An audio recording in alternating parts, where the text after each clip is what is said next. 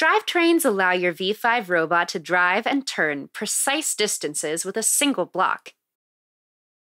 You can add a drivetrain to your project with the Devices window. Open the Devices window and select Add a Device. Next, select Drivetrain. First, select the ports for the left and right V5 smart motors in your drivetrain. Next, select if your drivetrain has a gyro sensor. If your drivetrain does have a three wire gyro, select the three wire gyro option and the port the three wire gyro is connected to. If your drivetrain does not have a three wire gyro, select the No Gyro option. Now, let's configure the drivetrain. First, look at the wheels on your drivetrain and select the wheel size from the dropdown.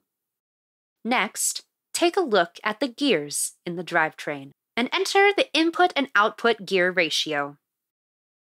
If you did not have a gyro sensor, you will see another setting for the track width, which is the width of the drivetrain.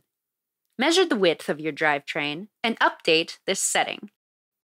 Select which gear cartridge is installed in your V5 smart motors. Lastly, if your drivetrain drives in reverse when programmed to drive forward, change the direction arrow to reverse your drivetrain. Select the Done button, and the drivetrain blocks will now appear in the toolbox. Your drivetrain is now configured and ready to use.